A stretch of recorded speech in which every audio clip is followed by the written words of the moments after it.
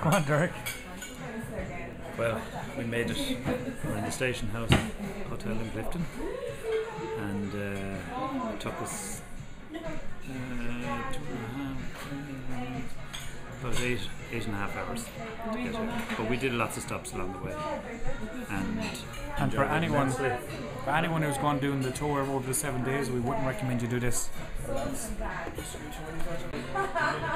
Hamilton, say, how do you feel?